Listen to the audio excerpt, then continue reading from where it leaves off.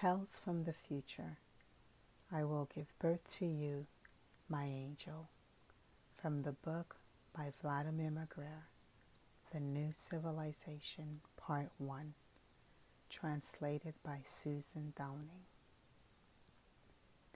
Victor Chadov, entrepreneur, awoke at dawn. Beside him on the, on the white bed, his young lover was sweetly sleeping. The coverlet's thin fabric hugged her sculptured feminine figure. Whenever they appeared together at a banquet or in a hotel, at a fashionable resort, her figure would attract men, sometimes envious, sometimes lascivious gaze. Inga that was the Sleeping Beauty's name.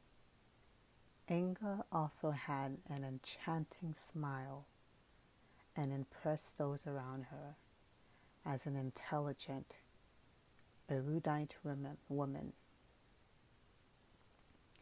Victor liked spending time with her, which is why he bought himself a second four room apartment, outfitted it with ultra modern furniture, gave Inga the keys, and he'd sometimes spend a night or two with her there when his intensive business permitted.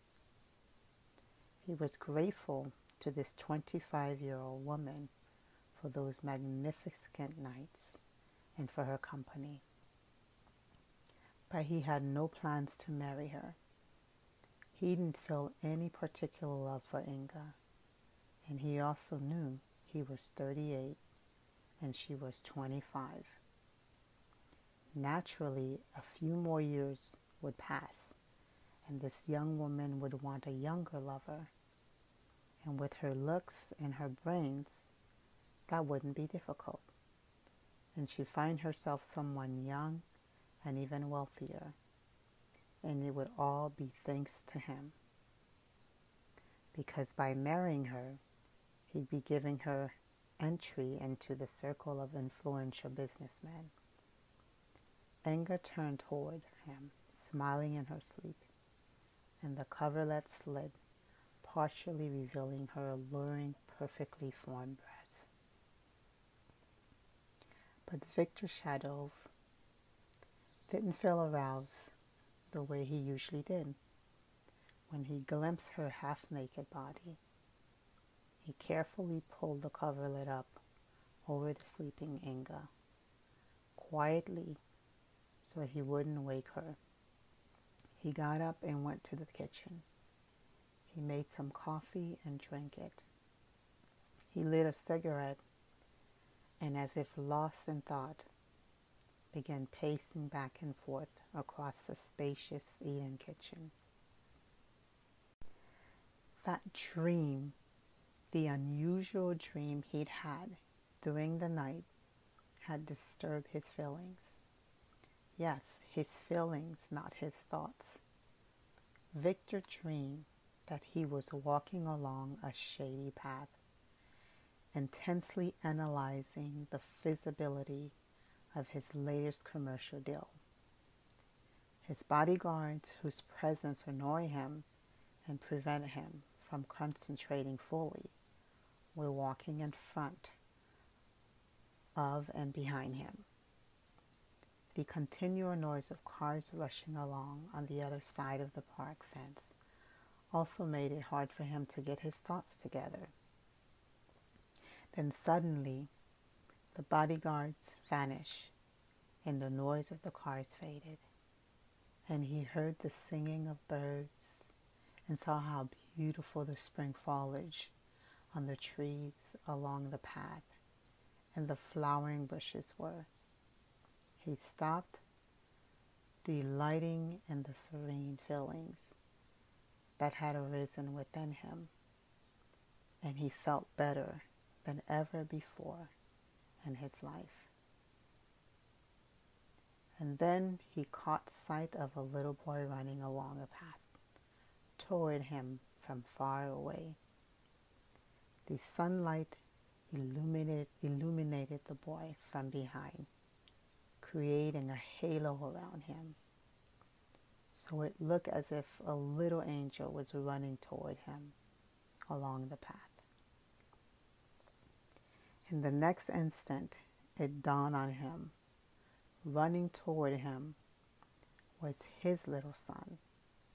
The boy was running toward him, working his little arms and legs hard. Victor crouched down and threw his arms open wide in joyful anticipation of an embrace. And his little son threw his little arms open as he ran too. Then suddenly, once he ran to within about three meters of Victor, the little one stopped running. The smile faded on the child's face and the serious expression in the child's eyes made Victor's heart beat more powerfully. Well, come on, come on. Come to me. Come here. I'll give you a hug, little son. Smiling sadly, the little one answered, You won't be able to do that, Papa. Why not? Victor astonished. Because the little one answered. His voice filled with sadness. You can't hug me, Papa. Because you can't hug a son who's not been born.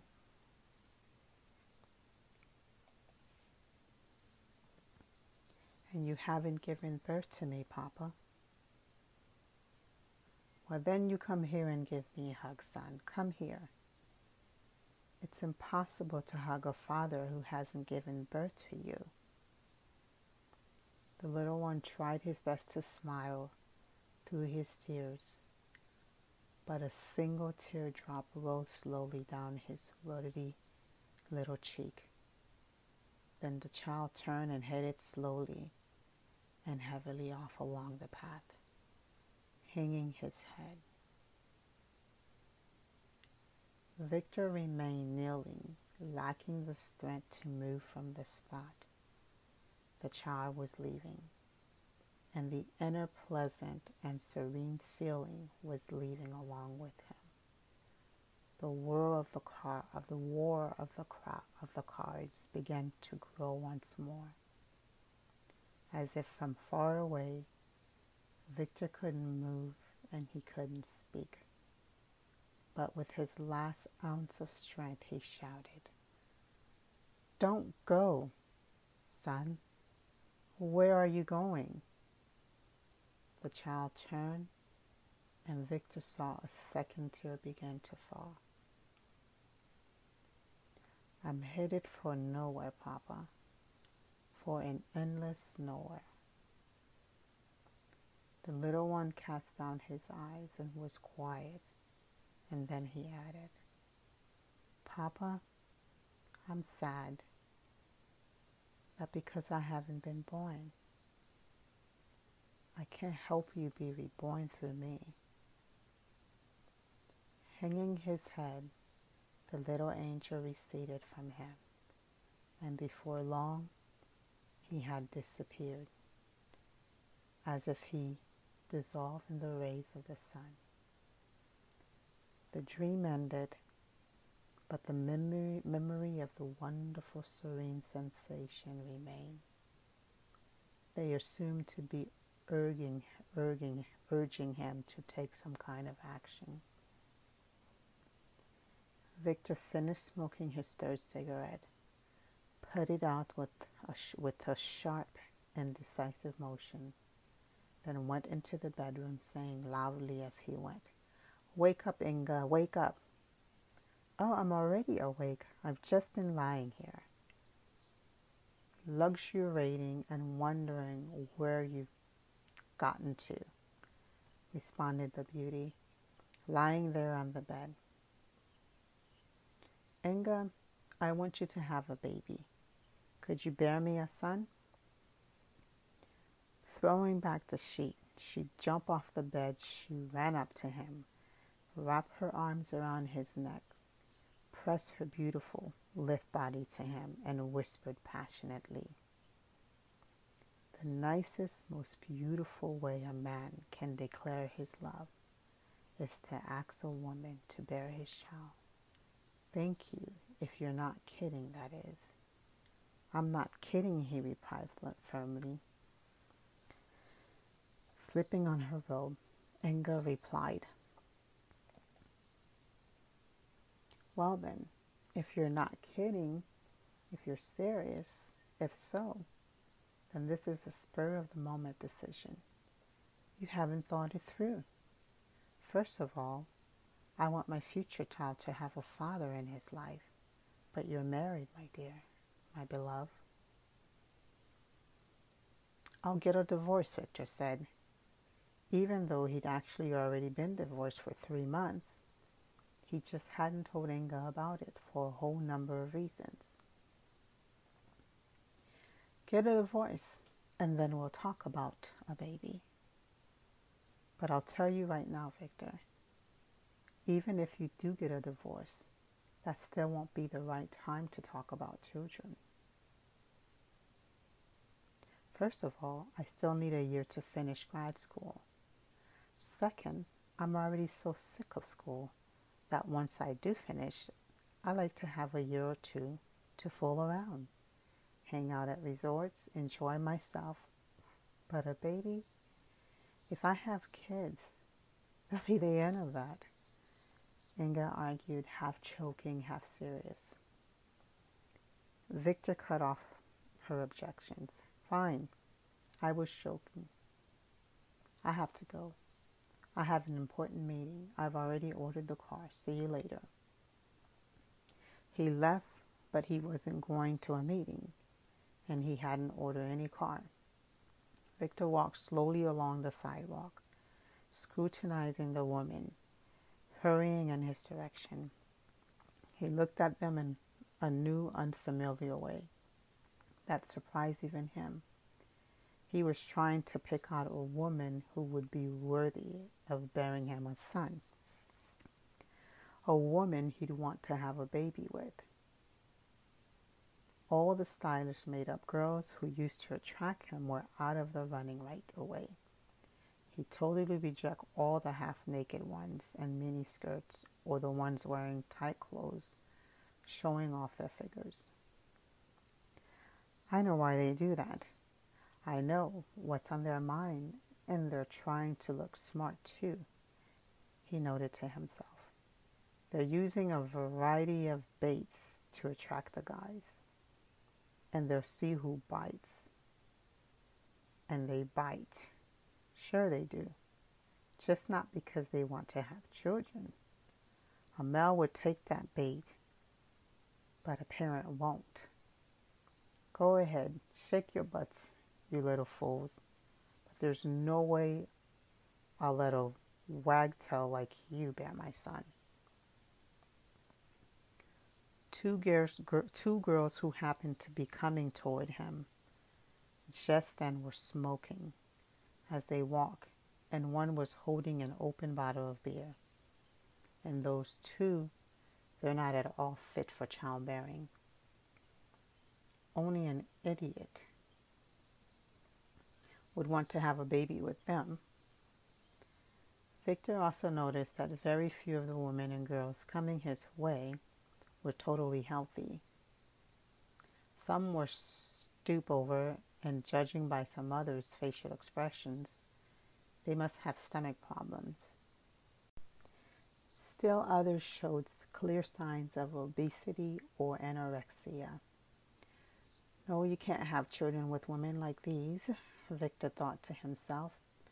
Man, I'm sure every single one of these women dreams of having a prince roll up to her in a white Mercedes. But they can't do the most basic thing for that prince.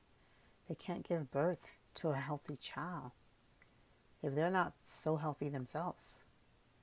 Instead of calling his driver, Victor took a trolley bus to his office. And the whole way, there he scrutinized the woman he saw, trying to identify who from among them might be worthy to bear his son, but in vain. As the day progressed, even as he sat alone in his office during his lunch break, he didn't stop thinking about the woman who would bear his child. Every once he had the feeling that it was as if he was choosing a woman who would give birth to him himself. Finally, he came to the conclusion that he wouldn't be able to find the ideal mother for his son. He'd have to create her. To do that, he need to find a more or less healthy young woman of good character who was nice looking or at least not repulsive and create the right conditions for her to get all possible training and shore up her health at all the best spas. But the key would be to send her to study at the best possible school where she could receive information about how to pre- prepare for pregnancy and how to go through pregnancy, where she could learn about childbirth and early childhood education.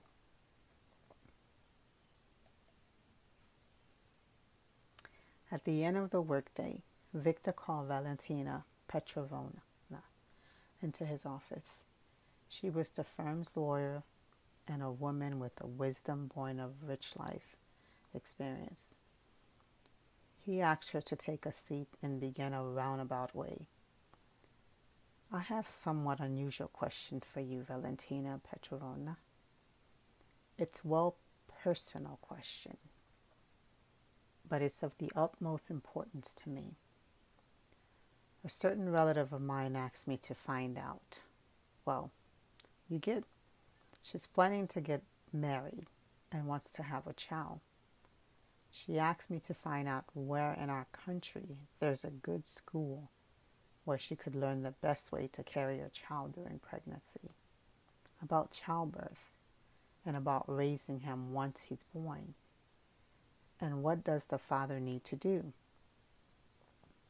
Valentina Petrovna heard him out attentively and after a short silence said, as you know, Victor Nikovich, I have two children, and I've always been interested in the literature about childbirth and raising children, but I've never even heard of there being any such school, whether here in our country or abroad.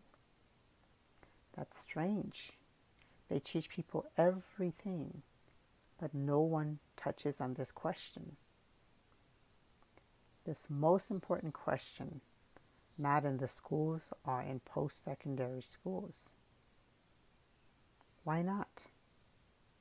Yes, it's strange, agreed Valentina Petrovna. Somehow I've never given that any thoughts.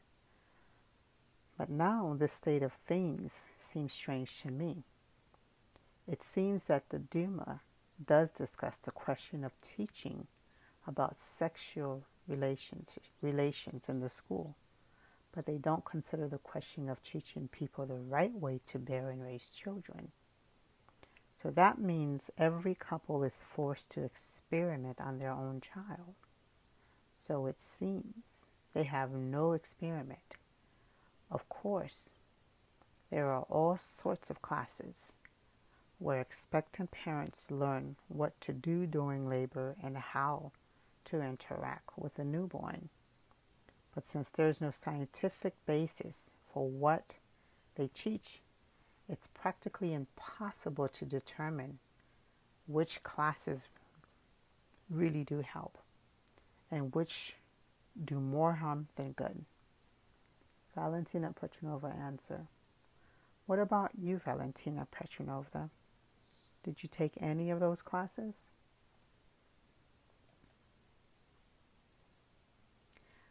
I decided to have my younger daughter at home in the bathtub with a midwife's help. A lot of people do the, do that these days. People think it's more comfortable for the child to come into the world at home in the presence of his relatives. They say a newborn can sense when people are acting lovingly toward him and when they're indifferent as often happens in maternity wards. It's like a conveyor belt there, you know? Victor didn't feel encouraged by his conversation with Valentina Petrovna. In fact, it had the opposite effect. It depressed him. For two weeks, he spent all his free time outside of work considering the problem of giving birth to children. For two weeks, whenever he was walking through the city, whenever he went to fancy restaurants, bars, and theaters, he kept looking at women's faces, evaluating them. He even took a trip out to the village, but he didn't find anyone suitable for himself there either. One day he drove his Jeep with the tinted windows over to the teacher's college and looked through the window at the girls walking by. After three hours of this, he turned his attention to a young woman who'd come out. Onto the porch, a brunette, a brunette with a short but tight braid, an elegant figure, and it seemed to him an intelligent face. As she passed by the jeep on her way to the bus stop, Victor lowered the window and called out to her.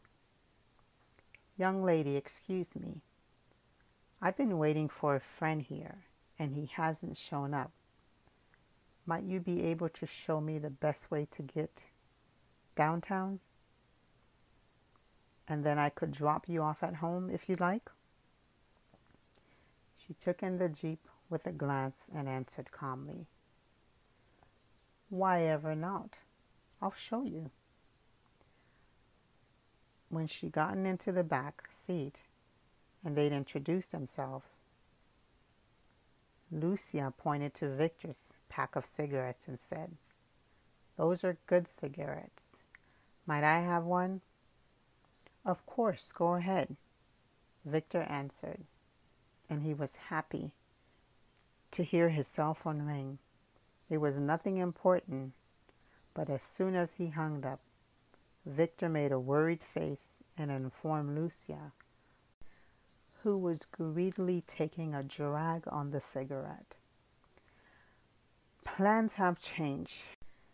I have to get right to a business meeting. Please forgive me. He let smoking Lucia out of the car.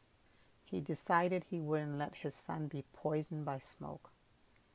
Victor didn't meet with his lover at all during these two weeks, and he didn't call her. He decided that if she didn't want to have his baby, if all she wanted to do was enjoy herself and hang out at fashionable resorts, then he didn't need her. Of course, it was exceedingly pleasant spending time with her. She was beautiful and smart.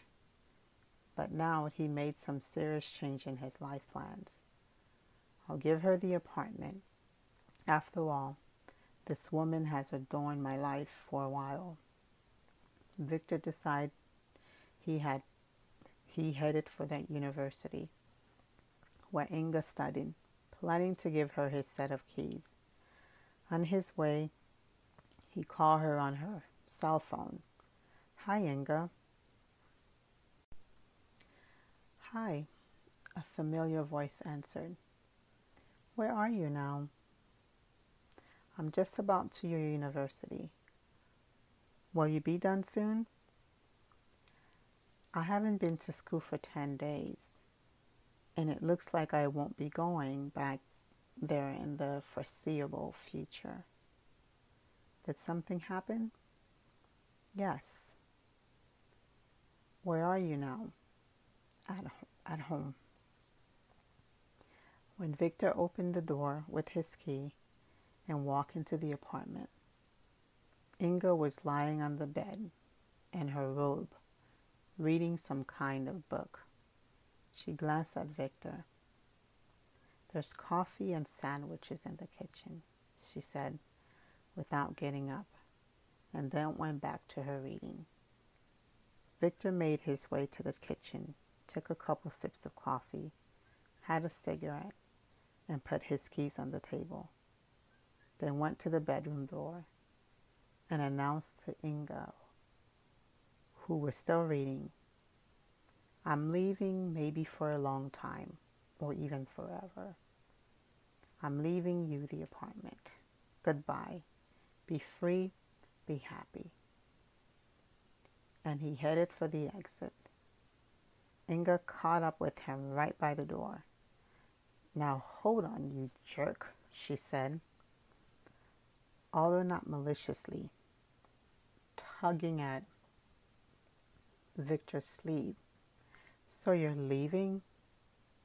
You've turned my whole life upside down, and now it's goodbye? How did I turn your life upside down? Victor asked in amazement. I had a good time with you, and I don't think you mind being with me either. Now you have your own apartment and plenty of outfits. Live your life, enjoy yourself the way you wanted. Or do you want some money too? You really are a jerk.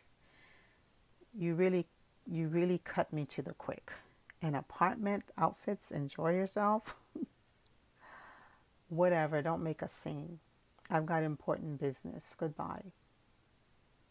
Victor to- took hold of the doorknob, but Inga held him back, yet again seizing his hand.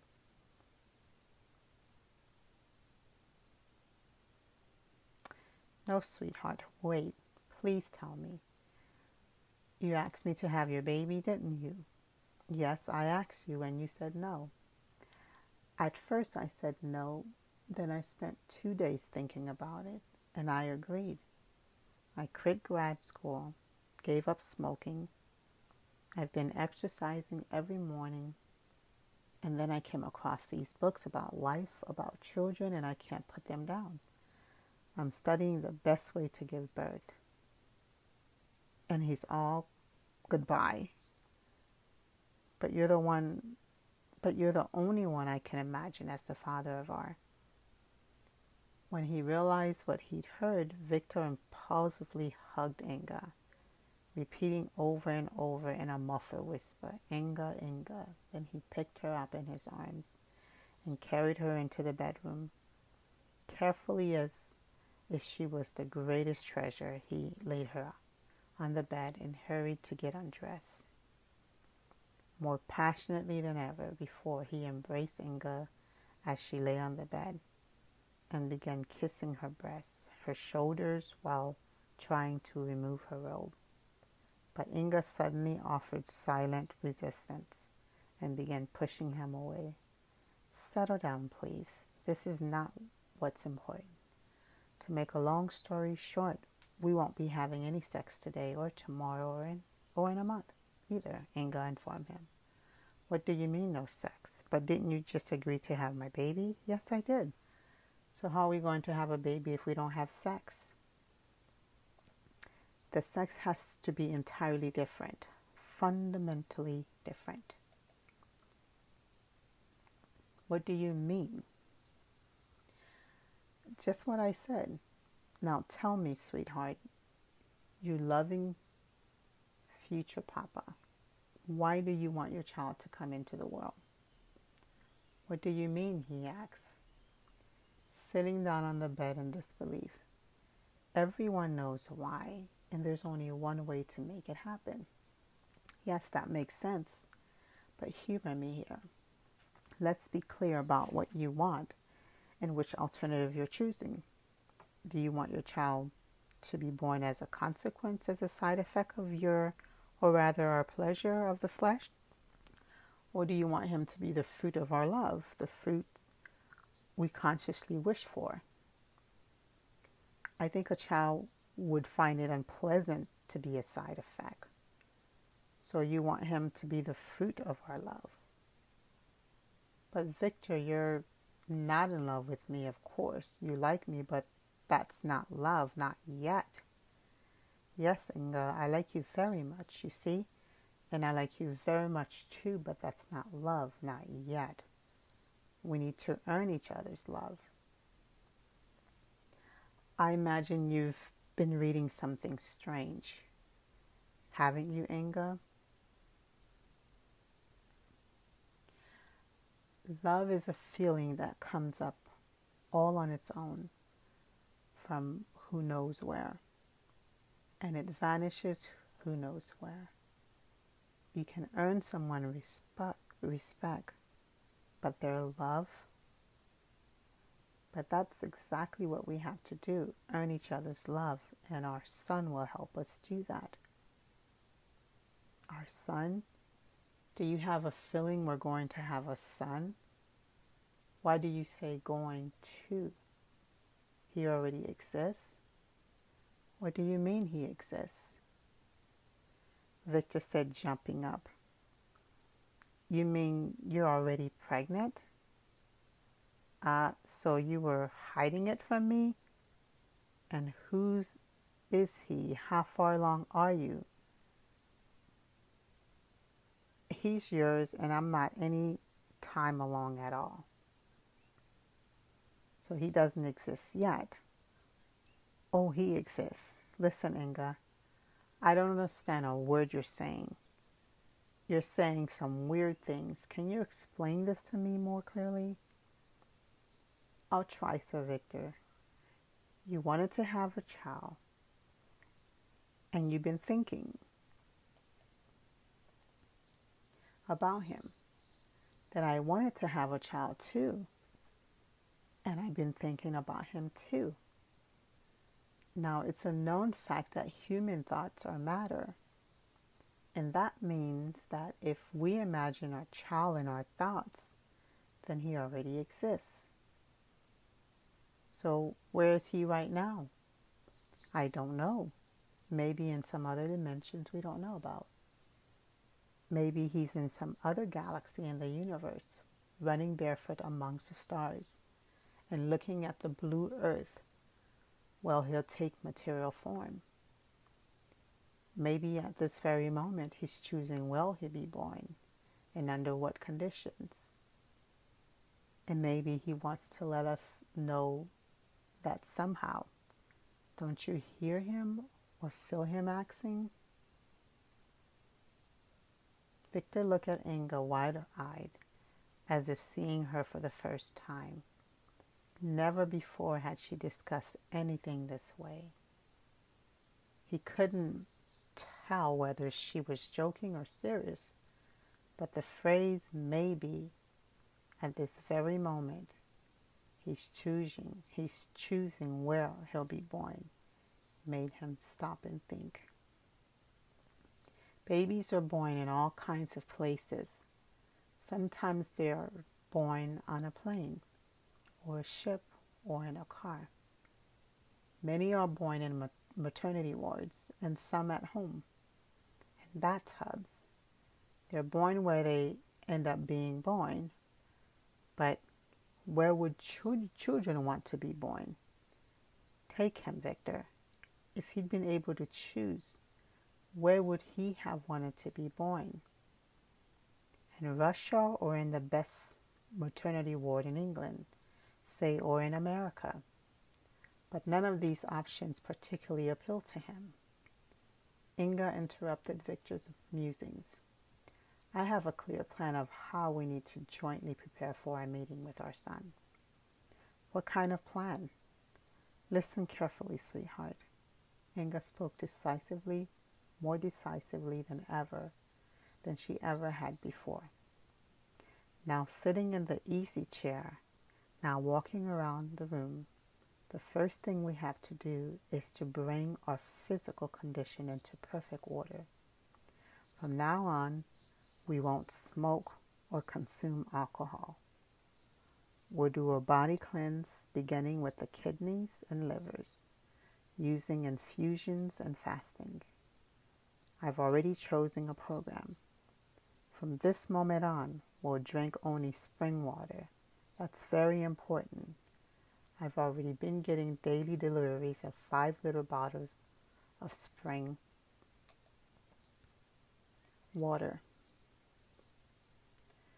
True, doing it that way is twice as expensive as going to the store, but that's okay. We can manage it. We need to do a physical workout every day so our muscles will grow stronger and our blood will flow through our veins more forcefully. And we also need fresh air and positive emotions, which are harder to come by.